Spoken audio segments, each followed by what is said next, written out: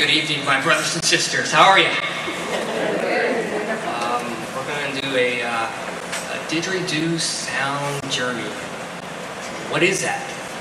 Well, it's always different. Um, why is it always different? Because we play for you.